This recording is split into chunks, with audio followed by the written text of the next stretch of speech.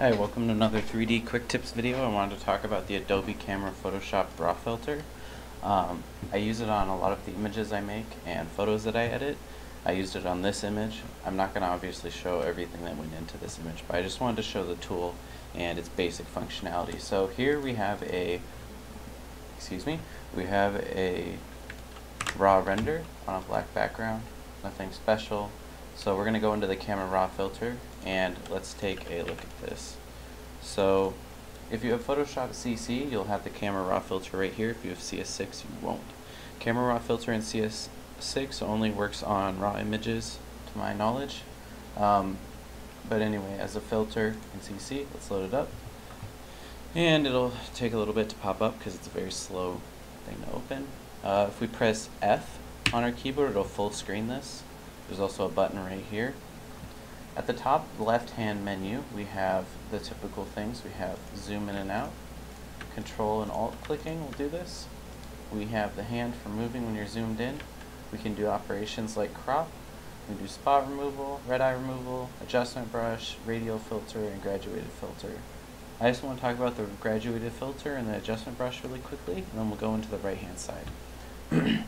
So as we click this, we notice that a brush opens up. Basically what this does is it allows us to paint parts of our image and let us change properties of where this thing is painted. So if you look here, we can start changing these these values on the right hand side and they will happen where we paint. So if we right click and go to the side, it'll make the brush smaller.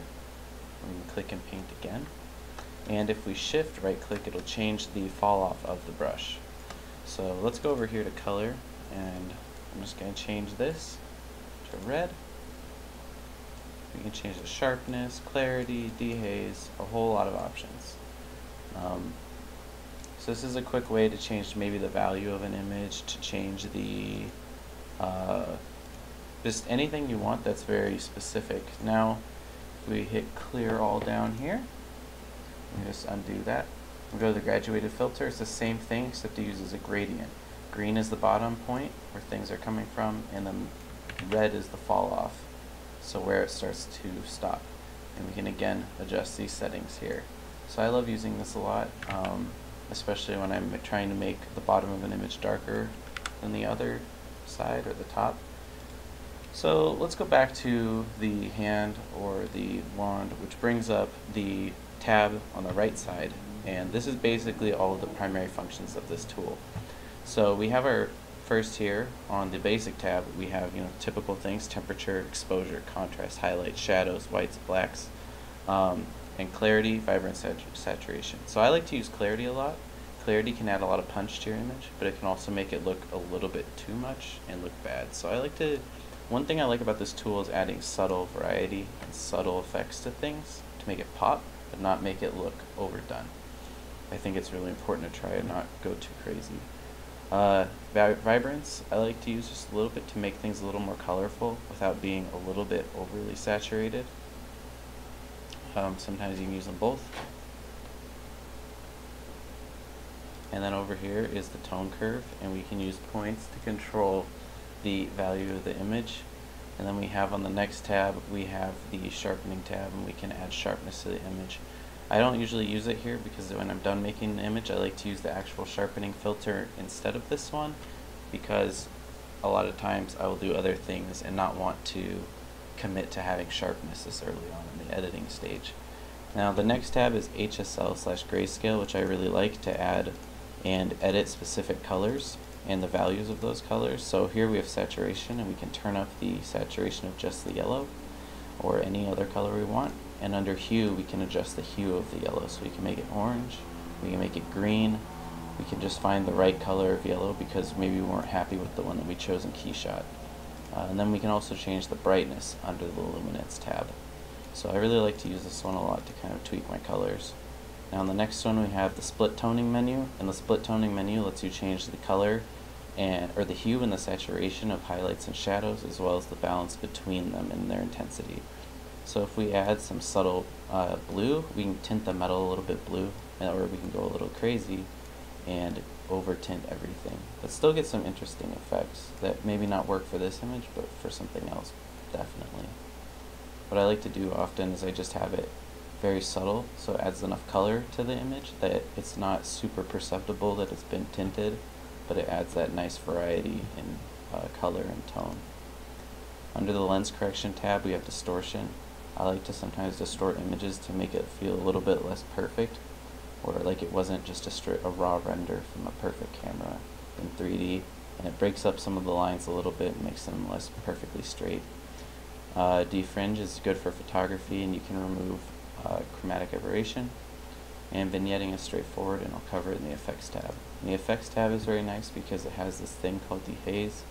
If you add the haze, it will basically make the image a bit softer and remove a lot of contrast. So I actually like to do this in conjunction with lowering the exposure and raising the brightness. So it'll still stay soft, but then we can make it a little more high contrast. Um, and then on the other side, we can make it much more sharp and contrasty and it can add a little bit of punchiness and still look really nice. The next uh, setting here is grain, which I like to add to things when I'm done, very subtly, to add a bit of breakup and subtle imperfection to the image, and it often softens up a lot of the edges. I like to use this for my graphic things as well. Uh, you can change the amount, the size, and the roughness of the grain. And then under here we have vignetting, that has a lot of settings, a lot more than the previous one in the lens correction tab, so I prefer this one.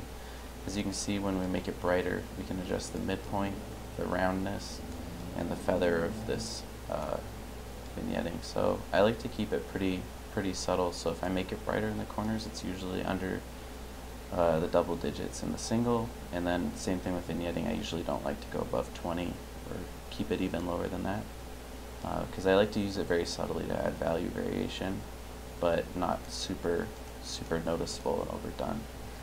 Um, down here, we have the ability to click the magnification that we want, or we can hit fit in view. Um, so basically, that's some of the most important things in this tool set. And once we are done, we can hit OK if you go down here though, you can also choose to see how your images look before and after. So when we're done, we just go over here and hit OK, and we'll commit to this image. It's worth noting that you have to have everything you want to edit on the same layer as this, this filter only edits a single layer. So I often save this process till the very end. Um, that way I can just kind of collapse everything and, edit the, the final image and give it these subtle final touches. Uh, one other quick thing I want to touch on is the lens correction filter under the camera raw filter. And if we just bring it up really quick, the things that I like to use in it are the chromatic aberration and then remove distortion. Remove distortion is just like in the in the camera raw filter, but the chromatic aberration if you put stuff on opposites of each other, so we put the green and magenta here, and this one here, we can start to change the colors of the chromatic aberration. So we get blues and yellows, and we have green and blues. Um, yeah, so those are a lot of my favorite quick tools and filters for adding subtle subtle changes to things or just editing images in general, photos, anything, whatever. Um, yeah.